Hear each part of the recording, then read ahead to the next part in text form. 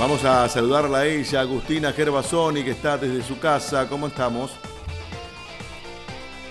Saludo a los chicos también, Robert, Leandro, que están allí en la producción de, Somos Noticias. Acá disfrutando, la verdad que trabajando, pero el solcito hermoso que entra por la ventana. Bueno, la vemos allí con esa hermosa remera de A positivo.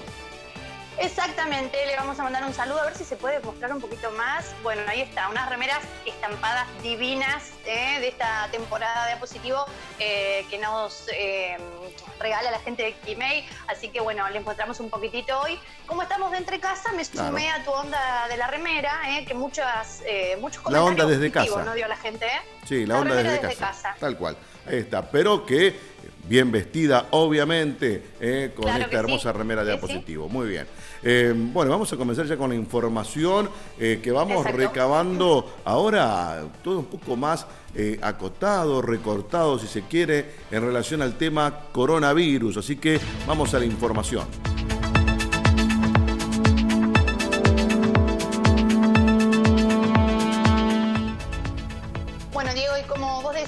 No tenemos mucha información. Eh, ayer lo comentábamos, la decisión del doctor Lombardi de comunicar los casos de Concepción del Uruguay una vez que esté el reporte provincial. Estamos esperando el reporte, por lo tanto vamos a repasar los datos del día de ayer. Ayer lunes se detectaron en Concepción del Uruguay cinco casos, fue lo que se informó desde el hospital. Hubo 19 altas eh, de pacientes que tenían coronavirus eh, lo cual suma un total de casos activos al día de ayer de 140, 140 pacientes con coronavirus en Concepción del Uruguay. Hay nueve personas que están internadas, tanto en el hospital como en los eh, centros privados, y en terapia intensiva hay dos pacientes de estos nueve eh, que decíamos recién que están internados. Así que bueno, estos son los números de ayer. Ojalá que antes de que termine el noticiero podamos hacer un comentario de los pacientes de hoy, de los datos eh, actualizados al día de hoy veremos a ver si, si es que llegan, si es que los mandan antes de las 2 de la tarde. Bien, ahí estamos viendo imágenes, Agustina, de esta mañana en el Hospital Urquiza. Bueno, ahí está la carpa que se instaló para, bueno, allí derivar a aquellos que aparezcan con síntomas ¿eh? de COVID-19 ¿eh? y se les toma la temperatura, etcétera. Hay una carpa también previa a lo que es la guardia, la estamos viendo. ¿sí? Este es el eh, dispositivo, el operativo COVID-19 en el Hospital Urquiza, en la zona de guardia. Em, estos números que estábamos escuchando recién, eh, claro, uno los escucha así, dice cinco casos solamente, parece alentador, pero recordemos que lamentablemente eh, los días domingo no se llevan adelante muchos, o sea, no se realizan los análisis en el laboratorio de INTA, donde va el grueso de los hisopados. Deduzco que estos cinco que se han informado tienen que ver con hisopados en el ámbito privado. Exactamente, Diego, eso es lo que está pasando. Eh, son los casos de los laboratorios privados. Esperemos a ver qué es, eh, bueno, eh, cuáles son los datos del día de hoy. ayer un poco mostrábamos, ¿no? La situación del fin de semana. Hubo 15 casos el viernes, 29 el sábado, 15 nuevamente el domingo. Números que van variando y mucho. No se mantiene, quizás como en otros lugares, un número constante. Veremos qué pasa, cuáles son los números de hoy. Bien, a nivel provincial, ¿recordás eh, qué cantidad de casos eh, informaban ayer? Ya te digo, dame un segundo que lo vamos a controlar. En el día de ayer eh, hubo 283 casos de coronavirus en la provincia de Entre Ríos, 283 casos y un total sumaban desde el, desde el primer conteo que se hizo, desde el número total desde la, de la provincia de Entre Ríos, 14.301 casos. ¿Eh? Por supuesto que hay muchísimos casos dados de alta, pero este es el número de contagiados en total en la provincia de Entre Ríos, 14.301. Eh, recuerdo todavía aquellos primeros meses donde teníamos la suerte de que había muy poquititos casos o en momentos no había casos de coronavirus y era nuestra alegría no estar comunicando esto, cómo las situaciones se dan vuelta y algunas ciudades están aún mucho más complicadas. En un ratito les vamos a contar más detalles de esto. Bien, vamos a continuar con la información. Eh, hay una entrevista eh, realizada a la ministra de Salud, Sonia Velázquez, y también al director de epidemiología de la provincia de Entre Ríos, en referencia a que eh, la provincia, el gobierno, está buscando la manera de frenar los contagios en Entre Ríos. Nuestro gobernador requirió la presencia del Comité de Emergencia Sanitaria de la provincia, informando los indicadores epidemiológicos en la cual se encuentra nuestra provincia en relación al panorama nacional, en relación al contexto regional. Y un tema no menor ha sido también la capacidad del sistema sanitario en eh, la provincia eh, de Entre Ríos teniendo en cuenta eh, también que hay 36 localidades con transmisión local por conglomerado y con algunos casos eh, comunitarios y eh, tres de estas localidades tienen transmisión comunitaria sostenida. Es en ese marco que el gobernador, en un repaso constante con, de la situación epidemiológica, nos ha pedido profundizar el trabajo con los distintos COEs locales. El propósito es disminuir la cadena de contagios, controlar la circulación del virus y recuperar el estatus sanitario en cada una de las localidades y también en nuestra provincia. El sistema de salud se preparó, nosotros, eh, si no hubiésemos tenido eh, la incorporación de todos los recursos eh, financieros que dieron cuenta tanto para la adquisición de insumos, la preparación del recurso humano, la capacitación del recurso humano, la provisión de los elementos de protección personal y también la ampliación del número de camas, el sistema de salud hace 80 días hubiese eh, colapsado. Nosotros tenemos una letalidad que estaría un poco por debajo del promedio nacional, sería 1,7% de los pacientes que tenemos han sido fallecidos. También hay que tener en cuenta que el 3% de todos los casos que se van confirmando requieren terapia intensiva, digamos. Este es un número que no es menor y es fundamental un poco por, también por lo que decía la ministra de las estrategias que se van tomando en relación a que es una enfermedad altamente contagiosa que genera muchos casos y del 3% de estos casos que requieren eh, terapia intensiva, eh, bueno, hace que las estrategias de control, sobre todo en, esta, en este aspecto, sean fundamentales. Bueno, y vamos a, continuar hablando de esto y una de las eh, localidades que están más complicadas y en transmisión comunitaria es la localidad de Gualeguay. Eh, ayer eh, lo comentábamos, la semana pasada hacíamos una nota con el doctor Marcelo Osman, que es el director de terapia intensiva del Hospital San Antonio de Gualeguay, por la salud del intendente Federico Bogdan, que finalmente fue trasladado a Buenos Aires y está en una situación muy delicada de salud hoy volvimos a hablar con eh, el doctor eh, Gonzalo Jauregui, que es director adjunto del Hospital San Antonio, pero en esta oportunidad, ¿y por qué director adjunto? Porque el director, que es Jorge García, el doctor Jorge García, tiene coronavirus. La situación del Hospital San Antonio es muy crítica, hay eh, una ocupación casi total de las camas de terapia intensiva y no hay médicos terapistas, hay muy pocos médicos, pocos son de Gualeguay y algunos vienen de afuera, pero no dan abasto tenemos con una alta ocupación al límite la terapia intensiva. ¿sí? Eh, hasta ayer teníamos de 11 camas que teníamos 10 camas ocupadas. Eh, eh, falleció un paciente, bueno, quedaron dos camas. Eh, después la sala de clínica médica tiene un 70% de ocupación. La sala de clínica de COVID moderados, ¿sí? Después está la sala de clínica no COVID. Eh, o sea, hay eh, las consultas por guardias han aumentado eh, sustancialmente estos últimos días en cuanto relacionados por COVID.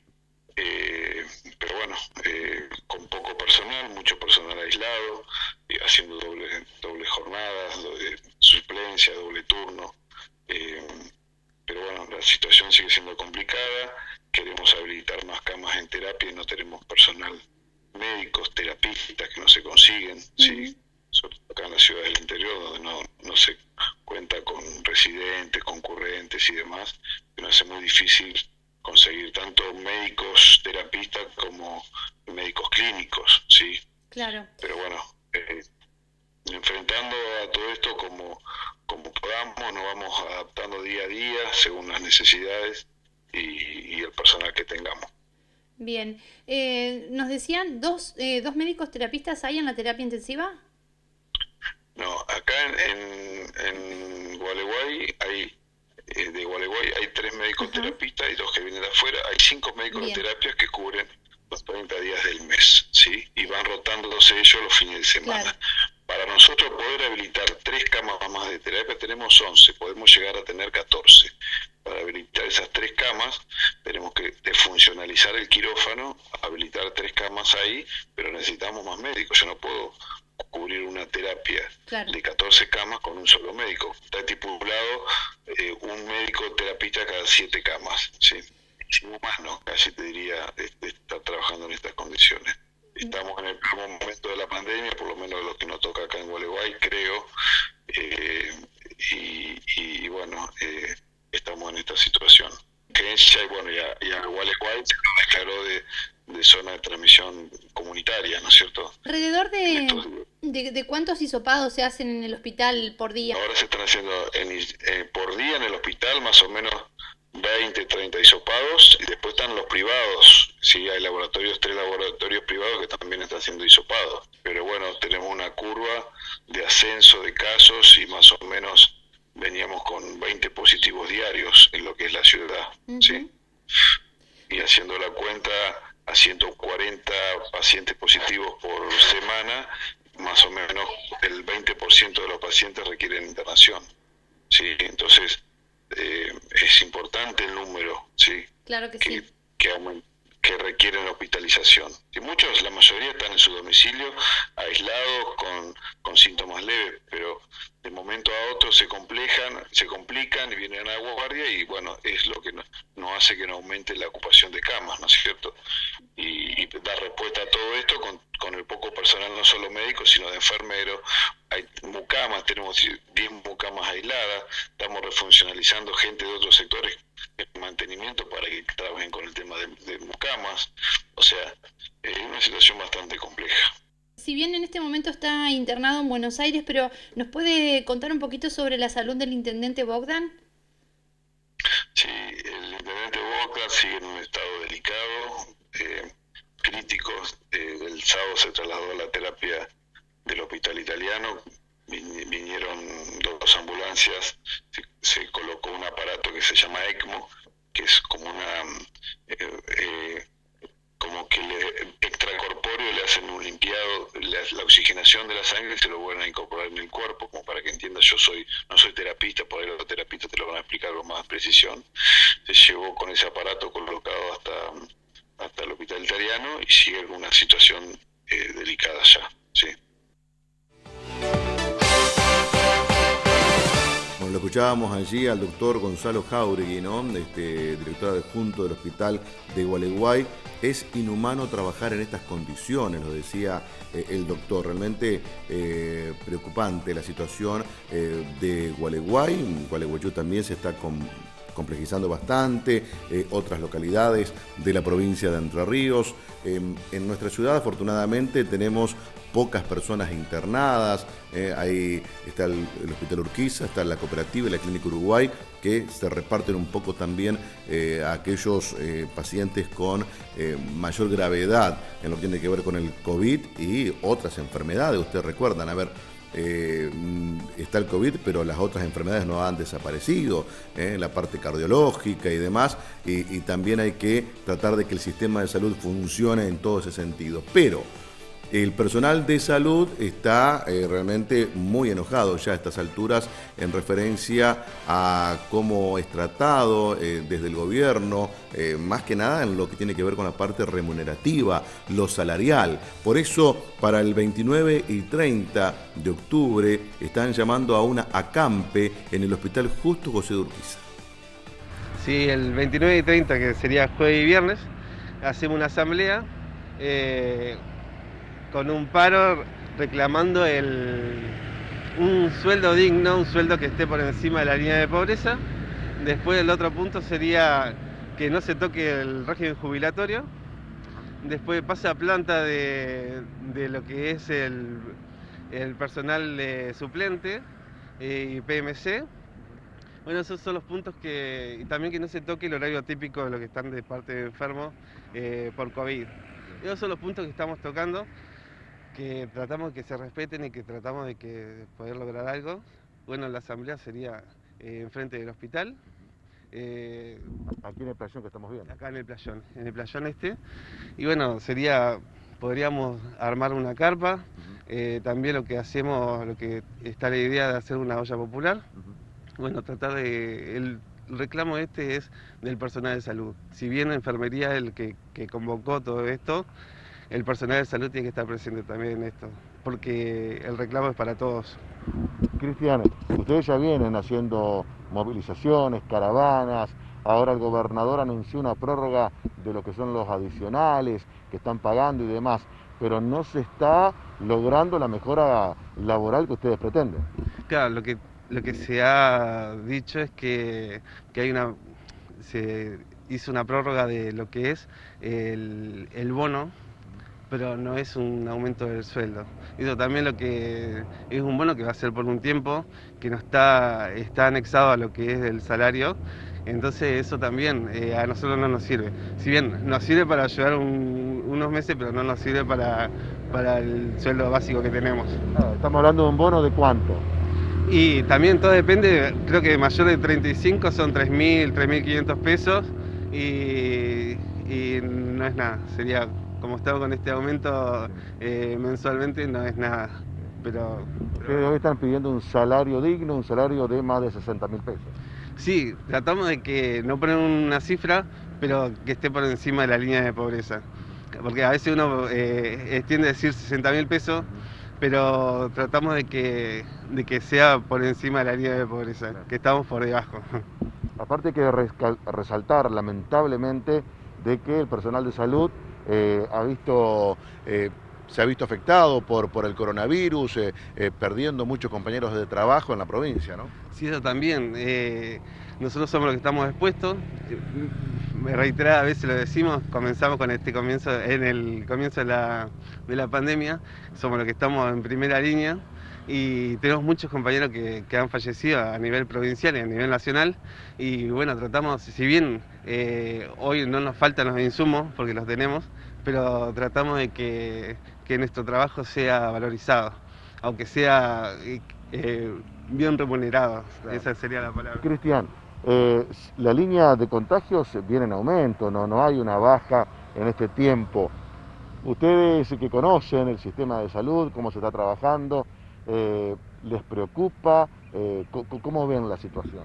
Sí, nos preocupa. Igual esta asamblea también eh, implica que vamos a tomar las medidas de precaución, vamos a usar barbijo, vamos a tomar distanciamiento. Eso también lo que, que no que entendemos bien. Sabemos que este reclamo nos va a ayudar y sabemos que este reclamo es necesario, pero vamos a tomar todas las medidas necesarias para, para, para prevenir también el, eh, la aglomeración. Así que la, la convocatoria es 29 y 30 de octubre. Exactamente, 29 y 30 estamos acá todo el día, vamos a hacer, si, si es probable, un acampe, que es lo que, lo que se había dicho anteriormente, pero, pero bueno, esos serían lo- los dos días que vamos a reclamar. Seguimos con la información. Esta madrugada hubo un incendio en un eh, galpón ubicado en calle Antártida Argentina, casi Rocamora, propiedad eh, de la firma Sebey. Eh, estoy en contacto telefónico ahora con Carlos Nosalevich, jefe del Cuerpo de Bomberos Voluntarios. Carlos, gracias por atendernos. ¿eh? ¿Qué tal? ¿Qué Bueno. tal? Muy buenas tardes. ¿Cómo le va a Diego y toda la audiencia? Bueno, eh, ¿qué fue lo que pasó? ¿A qué hora ustedes recibieron el primer llamado de alerta? Sé que una persona que pasaba por el lugar notó que salía eh, mucho humo y por eso advirtió lo que estaba pasando. Sí, como manifestaba este, esta persona que iba eh, circunstancialmente circulando por, por las inmedi- inmediaciones ahí de Rocamora y, Antártida Argentina, debe salir de un depósito, este, una humadera, y coincide también que ubica un móvil de la policía que estaba haciendo el recorrido informándole la situación, bueno, ellos se comunican, el comando de inmediatamente con, con nosotros a las 1.30 aproximadamente de, de esta madrugada, la cual este, notificaban de, de que salía humo de, de un galpón de- en esa, en esa intersecciones. Ajá. Eh, se despacha la unidad de guardia que hay y con, con personal hacia el lugar. Al, al arribo estaba todo cerrado, tuvieron que violentar unas puertas para poder ingresar y una vez que ingresan ven un foco himno a la mitad del galpón, que un, es un galpón de una estructura de importantes dimensiones. Eh, se comienza a trabajar, había mucho humo por, por, con equipos de protección respiratoria y, y, dos líneas de ataque. Y solicita una unidad de apoyo también este, para abastecimiento de agua, la cual concurre también desde el cuartel. Y bueno, se trabaja aproximadamente por, por una hora hasta que se logra extinguir este, este foco, que gracias a la, al, aviso pronto no se propagó ni a, ni a un galpón lindero que hay donde tengo entendido que vive este, o pernota choferes de, de una empresa de, transporte de combustible Ajá. y a su vez ese mismo galpón en el fondo tenía un depósito de ataúdes de la firma de Sepelio Suárez. Sepelio Suárez, Sí. yo creo que había dicho Sebey cuando arranqué, pero no es Sepelio Suárez, sí. Eh, sí. Estuvimos esta mañana allí, eh, nosotros estaban los propietarios, realmente les llamaba la atención porque en el lugar donde se concentró el fuego eh, no había eh, quizás este, una, eh, si pudo haber sido eh, algo eléctrico y demás, no había una conexión de, de electricidad en esa zona y demás, así que se está peritando a ver qué fue lo que pasó. Sí, la división criminalística de la policía quedó a cargo de, las tareas investigativas. Eh, nosotros al, llegar al lugar nos abocamos a la, extinción de, de, de ese foco, que era un depósito donde había eh, papeles y otros elementos, eh, prácticamente algunos en desuso, eh, pero ya habíamos observado la acción del calor que Sí. se había propagado por los techos y bueno, si no hubiésemos intervenido, eh, eh, se estaban por derretir unos caños de desagüe que había plástico y eso, bueno, caerían sobre otros materiales, había autos y, y también el depósito de, de, de ataúdes que tienen en el fondo de, de esas instalaciones. Sí, hubiese sido realmente tremendo, ¿no? Afortunadamente, la rápida acción de esta persona que notó lo que estaba pasando, dio aviso a la policía y así ustedes también pudieron llegar rápidamente para extinguir la, la llama, ¿no? Ahí estamos viendo algunas imágenes de, cómo quedaron los, eh, los fierros allí, las chapas retorcidas, producto del calor que ya estaba tomando eso. Sí, mucha temperatura, más por la- el material, que había mucho papel. Eh, pero bueno, también se corría el riesgo la, vi- la vivienda lindera, que hubo que romper un- una pared que separaba, que era de, de yeso, que también había tomado juego los tirantes de, de ese lugar y se podía propagar para, para el otro lado, que bueno, gracias a Dios se pudo controlarlo este, rápidamente. Bien. Carlos Nosalevich, como siempre, muchas gracias por atendernos. No, gracias a ustedes. Este, y bueno, eh, también felicitar al personal porque eh, sin duda nuevamente este, la rapidez y la ventaja de tener una guardia permanente en el cuartel que se puede despachar en- inmediatamente la unidad de emergencia es una, una de las ventajas que tenemos en ciudad. Muy bien. Carlos Nosalevich, jefe de bomberos voluntarios con nosotros, se incendio esta madrugada en un galpón allí en Antártida Argentina, eh, casi Rocamora, eh, como lo estábamos detallando. Eh, gracias, Carlos. Seguimos con la información y tenemos los mensajes de WhatsApp. Enviados al 3442-629924 eh, y tenemos varios cumpleañeros por allí.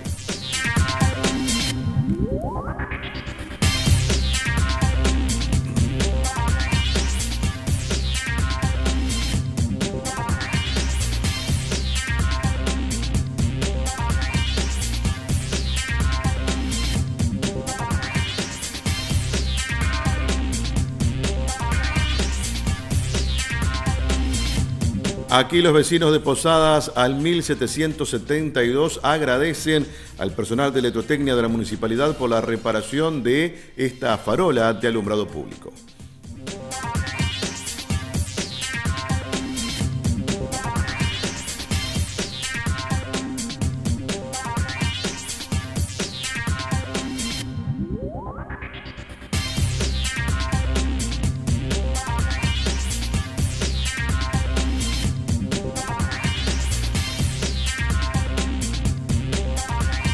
También tenemos un agradecimiento para el personal del 102 eh, que, bueno, eh, ha logrado de que estos eh, hermanos mellizos puedan estar juntos nuevamente. Bueno, ahí tenemos, esto tiene que ver con lo que veníamos comentando ayer sobre lo que ocurrió frente a la zona del ex frigorífico FAPU. Bueno, siguen los tirapiedras, pero esta vez este vehículo fue dañado en tránsito pesado entre lo que es Urquiza y eh, La Roque, allí la rotonda de Capilla San José. Eh, en esa zona donde era la policía montada, ahí, en ese lugar, bueno, recibió cerca de las 10 de la noche un impacto este vehículo. Eh, ahí vemos, se cree que pudo haber sido una piedra, pero por ahí también pudo haber sido otra cosa, eh, un perdigón, alguna cuestión. Pero bueno, lo que hay que destacar es que lamentablemente continúan los tiras piedras que lo harán por diversión, es la pregunta. ¿Lo harán por, con otro fin de que el vehículo frene y así cometer un ilícito? O quién sabe. Lo cierto es que eh, ahí estamos viendo el daño en el vehículo, hay que reparar el parabrisas y demás. Pero si esta persona, producto de este impacto, hubiera hecho una maniobra eh, un poco más brusca y genera otro tipo de accidente, bueno, la verdad que eh, es muy, muy preocupante que esté ocurriendo esto. Esto ya también ocurría hace un tiempo cuando la gente de la línea 4 de colectivos también eh, advertía de que eran blancos de este tipo de hechos. Así que, bueno, esperemos que se pueda resolver, buscar una solución, advertir eh, cuando alguien ve a, creemos que son chicos, pero pueden ser gente mayor también, que esté tratando de producir o de generar que se detenga el acto para eh, cometer algún ilícito. Siguen los tirapiedras.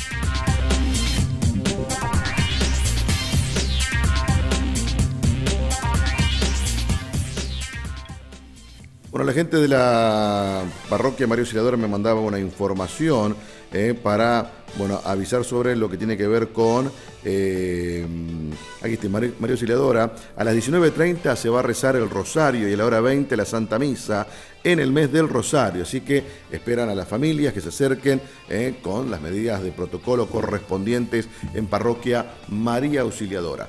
Hacemos la pausa, noticias de la Universidad de Concepción del Uruguay y ya regresamos.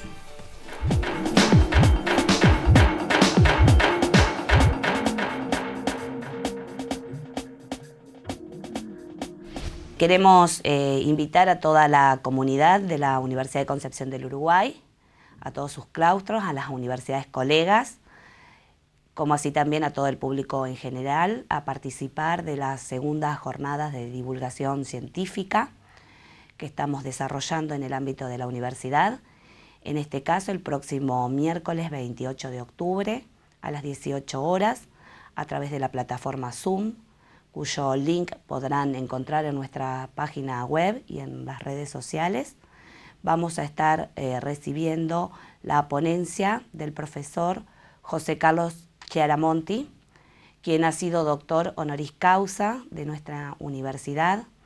Esta distinción, que es el mayor título académico que se puede otorgar, la recibió en el año 2012. En este encuentro del próximo 28 el profesor abordará el tema del racismo en los Estados Unidos próximo a las elecciones que se van a realizar en dicho país, donde tomará los efectos del racismo y la esclavitud. Y asimismo también va a estar abordando la relación entre la provincia y la ciudad de Buenos Aires y los conflictos que esta relación ha llevado a cabo esta actividad de divulgación científica. En esta oportunidad se encuentra avalada por el Instituto Cultural Justo José de Urquiza y por el programa de investigación Origen de las Provincias Históricas, que se enmarca dentro de la Cátedra de Historia Constitucional de la carrera de abogacía, vinculada también al grupo de investigación Origen y Desarrollo del Federalismo Argentino De esta manera quedan todos invitados a que puedan acompañarnos en esta disertación, la cual consideramos de real trascendencia en este tiempo. El profesor Charamonte es eh, filósofo, profesor, eh, y tiene una reconocida trayectoria tanto a nivel nacional como internacional y ha recibido numerosos premios y distinciones en todo el país. Es por ello que a través de, a través de la presente los invitamos a que nos acompañen.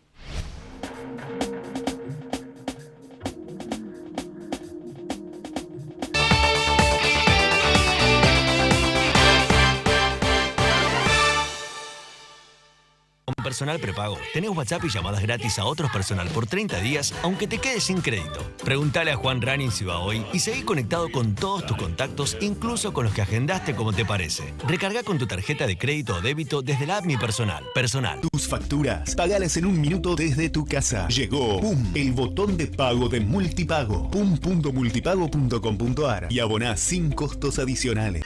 En tiempos en donde las redes están repletas de gente a la que le sale bien todo, que canta, que baila, que cocina, nosotros también queremos bancar a los que no. A los que se mandan a hacer algo y les sale horrible. Porque aunque pueda fallar, lo importante es seguir intentándolo. Y nosotros estamos ahí para darte todo lo necesario para que lo sigas haciendo. O una alternativa que te salve. Porque si falla, tenés un disco cerca. Disco. ¿Qué necesitas?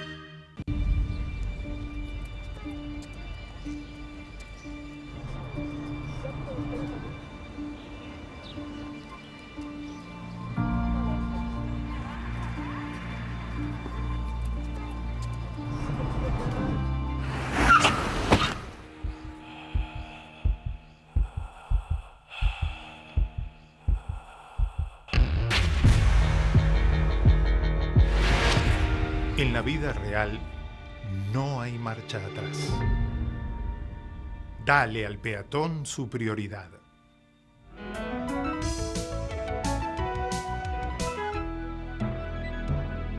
Luchemos por la vida. Vení a cargar Quantium, el nuevo combustible premium de Action Energy, y llévate un 10% de descuento sin tope para disfrutar en tu próxima carga. Action Energy. Vení a donde vamos. Ya sea que estés en Salta o en Ushuaia, en una gran ciudad o en el campo, ellos están ahí. Los productores asesores de seguros, para darte la tranquilidad que necesitas cuando la necesitas. Están cerca y están siempre. Y hoy más que nunca queremos agradecerles por seguir conteniendo a nuestros más de 7 millones de asegurados.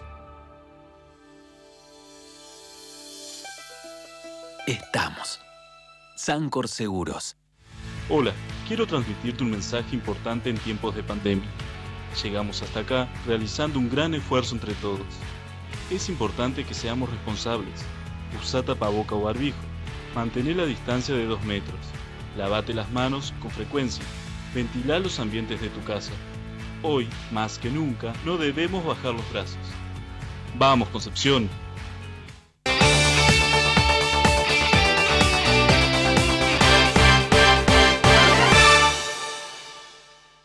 Personal Prepago te da 20% más de crédito si recargas desde la app Mi Personal. Descargala ahora y haz tus recargas con tarjeta de débito o crédito. Aprovecha el beneficio para hablar más, chatear más y navegar más. Más crédito para estar más conectado. Personal. Con Personal Prepago te damos 20% más de crédito si recargas desde la app Mi Personal. Descargate la app, haz tu primera recarga con tarjeta de débito o crédito y aprovecha 20% más para vos que sos de engancharte con la receta y no parás hasta tener en el chat más info que un libro de cocina. Personal. En Prevención ART estamos convencidos de que las empresas son su gente y su trabajo. Por eso, nuestra prioridad es proteger ese gran capital. Para conocer más, comunícate con tu productor asesor de seguros o ingresa en www.prevencionart.com.ar. Prevención ART, cuidando a tu gente, cuidando a tu empresa. Trabajando, la gente mueve el mundo, porque sin la gente no volarían los aviones, no tendríamos quien nos cure, no se dorarían las hamburguesas. Por eso, en Prevención ART, cuidamos a los que trabajan, moviéndonos antes de que las cosas pasen y respondiendo cuando las cosas pasan. cuidando el recurso más importante que tiene una empresa, la gente. Prevención ART de Sancor Seguros, cuidando a tu gente, cuidando a tu empresa.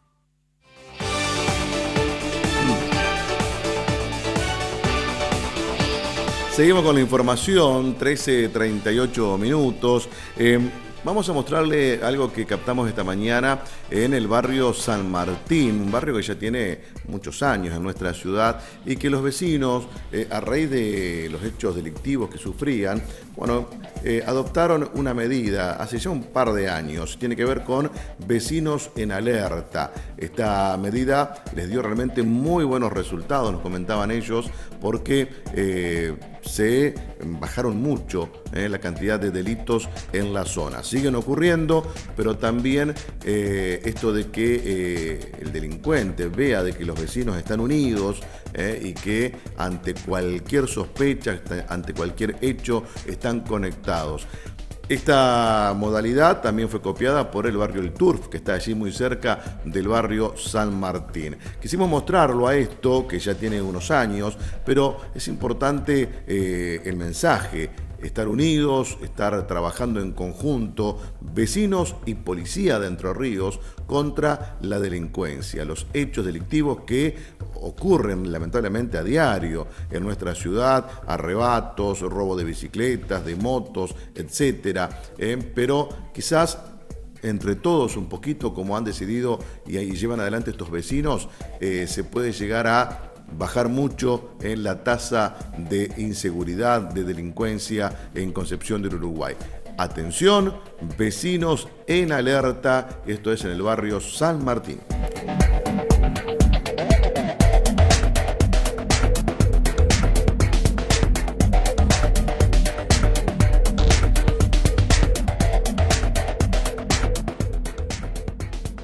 Bien, y vamos a hablar ahora de música y tiene que ver con alumnos de la Orquesta Río de los Pájaros. Hay algunos de los chicos que están participando durante esta semana y de manera virtual de un programa que se llama Academias Nacionales de Instrumentos, donde, eh, como decíamos, a través de la virtualidad están tomando clases eh, de este programa de nivel nacional. Eh, la Fundación Soljar todos los años organiza un seminario que se llama Academias Nacionales de Instrumentos, dedicado a el perfeccionamiento instrumental de chicos de todo el país en instrumentos de orquesta. Normalmente se realizan en la ciudad de Buenos Aires una semana entera eh, y con clases intensivas durante toda la semana y finaliza con un concierto eh, orquestal en, en el Teatro Coliseo. Este año, por supuesto, que todo cambió y como la fundación no quiso este, cortar con esta actividad, se, eh, decidió hacer las academias edición virtual. La edición virtual, por, cuestiones organizativas, eh, en, este, en, este año consiste en tres o cuatro clases durante la semana, clases magistrales con diferentes profesores eh, y alumnos seleccionados este, como activos, o sea, para que toquen, y después alumnos oyentes. Em, en el caso de violín, eh, había que presentar un video, los chicos grabaron el video, y, de los 11 participantes que van a, estar como activos, cuatro son alumnos de la orquesta, son nuestros. Y también está eh, Delfina, una alumna nuestra de flauta, de flauta traversa, que también este, va a participar como activa en el seminario de flauta. La noticia, la, información llegó hace más o menos un mes y bueno, yo estuve tanteando a ver quiénes son los que, los que les interesaba, que estaban interesados en enviar el video o si no querían participar como oyentes, que también es una posibilidad. Em, y bueno, y con, cuatro de ellos este, preparamos, eh, preparamos una obra que se pedía para, para mandar el video y que es la obra que eventualmente de quedar elegidos este, es la que se iba a trabajar en el seminario. Así que mandaron el formulario de inscripción, el video y hace unas par de semanas se recibieron la información de que, quedaban seleccionados. Y bueno, ya empezó hoy, los primeros dos tuvieron clase hoy a la mañana con una profesora eh, de origen francés e inglés, eh, Salomé Rato, eh, que estuvo trabajando con ellos a la mañana y sigue el miércoles, jueves y viernes van a tener otras clases con profesores con Rolando Prusak, el violinista argentino, y con Igor Lara, que es un violinista eh, venezolano radicado acá en, en el país este fue un año muy particular y muy duro, especialmente para los chicos, ¿no? para los niños este, encerrados en sus casas sin, sin la parte eh, social que tan, que tan importante es para la niñez y para la adolescencia.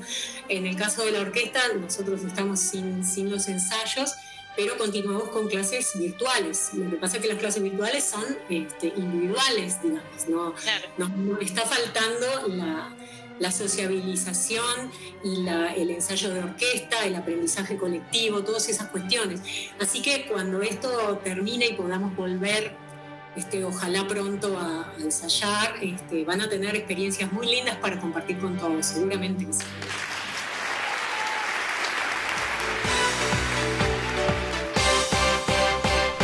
Continúan los controles vehiculares en Concepción del Uruguay. Ustedes saben que el fin de semana se realizó uno, donde inclusive hubo una novedad eh, que tiene que ver con un eh, automovilista que intentó escapar del control, casi atropelló a los agentes de tránsito, etcétera. Eh, bueno, después fue localizado el conductor de este Fiat 1, incluso detenido, un joven de 22 años, para identificarlo y demás.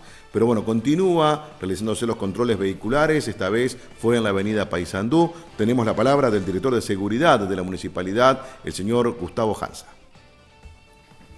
En el marco de la continuidad de distintos operativos que se llevan adelante desde la Secretaría de Gobierno, implementado desde la Dirección de Seguridad Ciudadana, esta tarde se llevaron a cabo distintos operativos en la localidad eh, destinados a realizar control vehicular para aquellos que son conductores de los mismos y la documentación que poseen a bordo.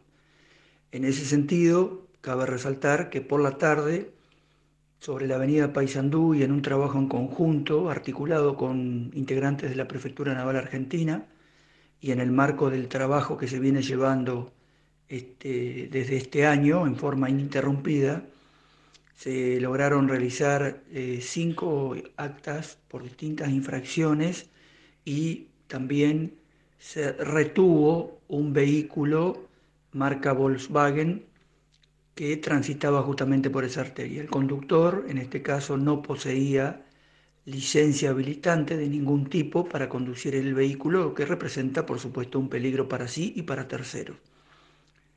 La idea es seguir trabajando en el marco una seguridad vial eh, mejor hacia la ciudad de Concepción del Uruguay y en ese sentido brindarle al vecino la tranquilidad necesaria. Seguiremos trabajando en esa línea con los medios y los recursos técnicos y humanos que dispone el municipio para este, lograr ese objetivo.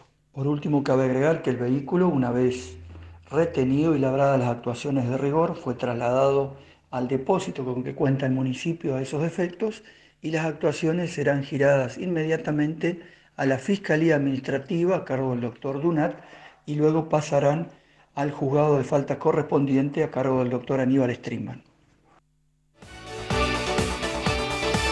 Nos vamos a ir a algunas imágenes que tenemos de lo que ocurrió ayer en Santa Elena, eh, en lo que eh, el propio presidente de la Nación, Alberto Fernández, ha eh, dicho de que es un problema familiar, ¿no? Bueno, ahí vemos cómo ayer eh, se reunieron diferentes agrupaciones sociales en defensa del proyecto Artigas y también en defensa eh, de Dolores Echeverre. Em, varios eh, actores políticos han dicho esto, ¿no? Es un problema familiar, una cuestión entre hermanos que debe resolver la justicia, incluso el propio gobernador de la provincia lo ha dicho. Pero bueno, de igual manera, han sucedido estos hechos en Santa Elena, el fin de semana también la sociedad rural, eh, la parte del campo realizó un banderazo y demás. Eh, algunos entienden de que esto es una usurpación eh, y demás. Pero bueno, ¿Qué pasa eh, concretamente en la parte judicial con todo esto? Bueno, eh, desde el Servicio de Información y Comunicación del Superior Tribunal de Justicia de Entre Ríos se informa que la Oficina de Gestión de Audiencias de Paraná fijó para mañana miércoles a las 9 de la mañana la audiencia donde se tratará el recurso de apelación en el legajo Echeverre Leonor, su denuncia. se desarrollará en el Salón de Actos del Superior Tribunal de Justicia y se, eh, será transmitida en vivo y en directo a través del canal de YouTube del Servicio de Información y Comunicación del Poder Judicial de la provincia de Entre Ríos.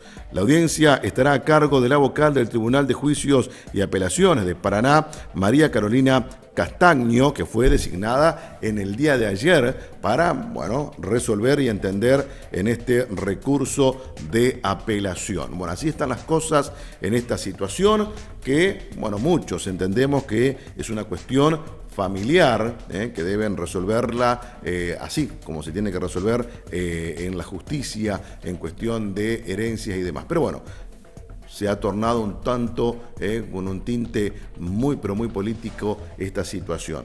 Reiteramos, mañana, miércoles 9 de la mañana, será entonces la audiencia donde se va a tratar el recurso de apelación en este legajo Echevere Leonor, su denuncia, y será transmitido, se podrá ver en directo a través del canal de YouTube del Servicio de Información y Comunicación del Poder Judicial de la provincia de Entre Ríos.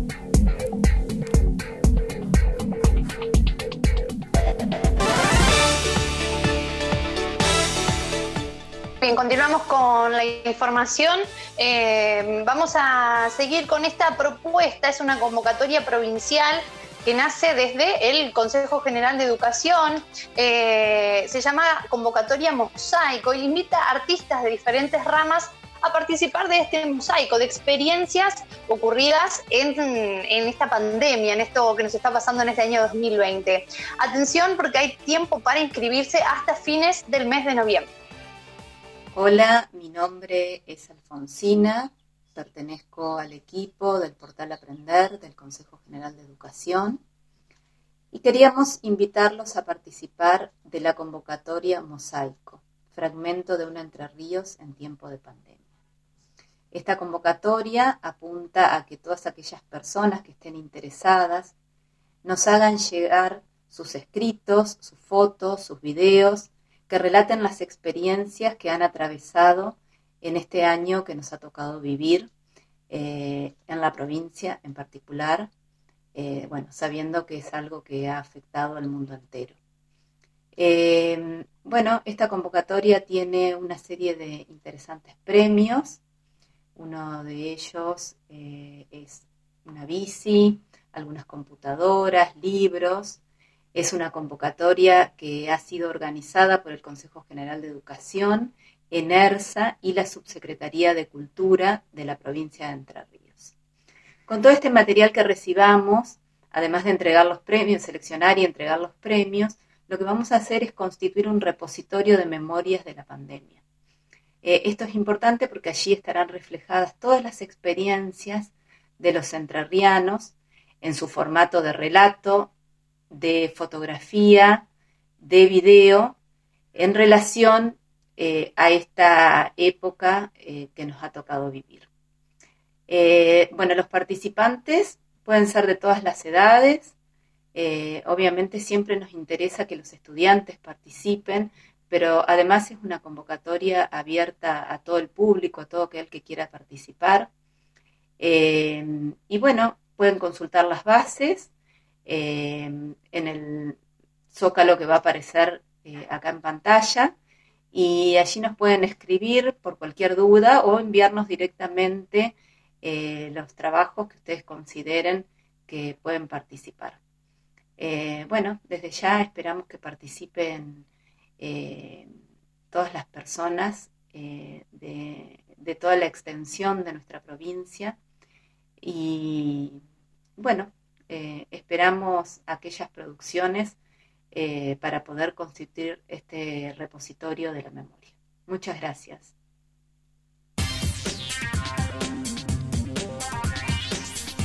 Y seguimos cumpliendo con los mensajes de WhatsApp enviados al 3442-629924 que han llegado un montón, ¿eh? Para cumpleañeros y demás. A ver.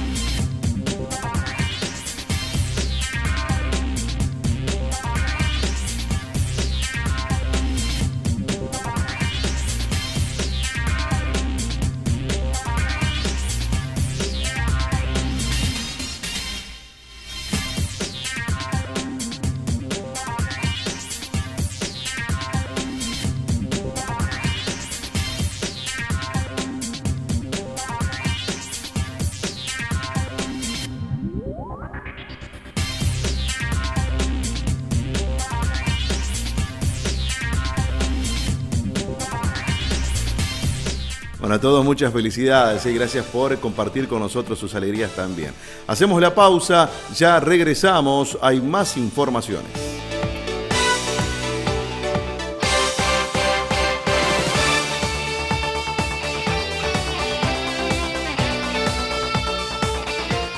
Destacados de la semana. Avanza el proyecto para producir medicamentos en la provincia. Con el fin de potenciar la producción local, el gobierno provincial trabaja en la generación de herramientas para el campo de la salud. El objetivo de esta iniciativa es que Industrias Farmacéuticas de Entre Ríos provea de insumos al sistema de salud pública provincial y se inserte en el mercado nacional. Habrá monitoreo permanente en las escuelas que retoman las clases presenciales. El gobernador Gustavo Bordet estuvo en la localidad de San Benito, donde inauguró una unidad educativa de nivel inicial y anunció la construcción de una escuela técnica. Además, se firmaron los convenios para la extensión de la red cloacal para esa localidad y Colonia Avellaneda. Lo vamos a ir monitoreando permanentemente de acuerdo con la situación sanitaria que presente la provincia de Entre Ríos. Iremos analizando cada una de las situaciones y vamos a garantizar que estén dadas todas las normas de higiene y seguridad en cada establecimiento. Primero Entre Ríos. Primero vos. Gobierno de Entre Ríos. Con Personal Prepago, tenés WhatsApp y llamadas gratis a otros personal por 30 días, aunque te quedes sin crédito. Preguntale a Juan Rani si va hoy y seguí conectado con todos tus contactos, incluso con los que agendaste como te parece. Recarga con tu tarjeta de crédito o débito desde la app Mi Personal. Personal. En tiempos en donde las redes están repletas de gente a la que le sale bien todo, que canta, que baila, que cocina, nosotros también queremos bancar a los que no. A los que se mandan a hacer algo y les sale horrible. Porque aunque pueda fallar, lo importante seguir intentándolo. Y nosotros estamos ahí para darte todo lo necesario para que lo sigas haciendo. O una alternativa que te salve. Porque si falla, tenés un disco cerca. Disco. ¿Qué necesitas? Vení a cargar Quantum, el nuevo combustible premium de Action Energy, y llévate un 10% de descuento sin tope para disfrutar en tu próxima carga. Action Energy. Vení a donde vamos. Ya sea que estés en Salta o en Ushuaia, en una gran ciudad o en el campo, ellos están ahí. Los productores asesores de seguros, para darte la tranquilidad que necesitas cuando la necesitas. Están cerca y están siempre. Y hoy más que nunca queremos agradecerles por seguir conteniendo a nuestros más de 7 millones de asegurados. Estamos. Sancor Seguros. Multipago, la red de cobros del litoral. Forme parte de nuestra red de cobros y sume valor a su comercio. Comuníquese con nosotros al 0800 888 0506.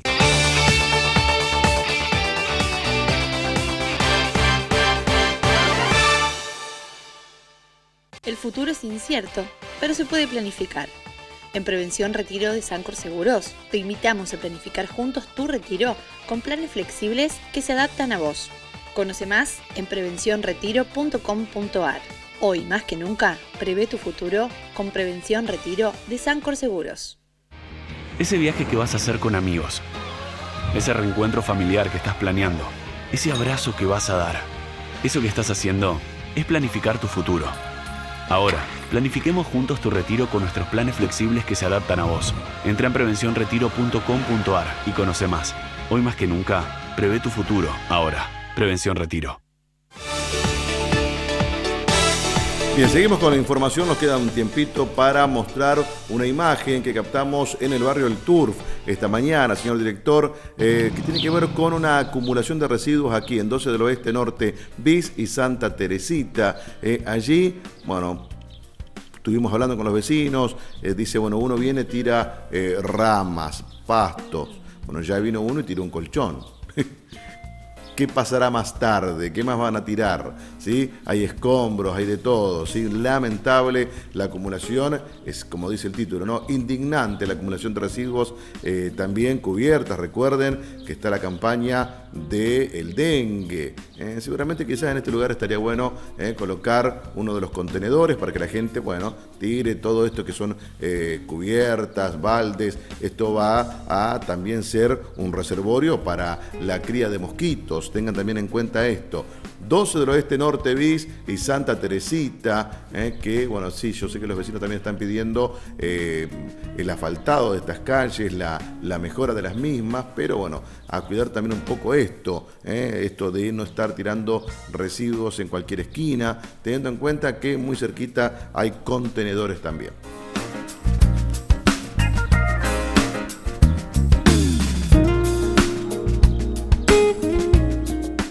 Bueno, nos vamos, Agustina. Hasta mañana.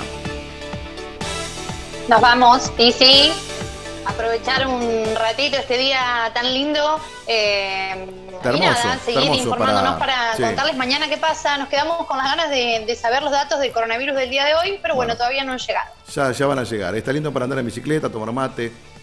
Exactamente. Eh, acuérdense de que si sale a algún lugar, espacio público, solamente salir, transitar, no quedarse en los espacios. Eh, y si vas a salir a, tom- a tomar mate, no sé, caminando o en Cada auto, uno con su equipo. Vos tu mate, tu familia y nadie más. Sí. No se comparte. chao, Agus. Hasta mañana.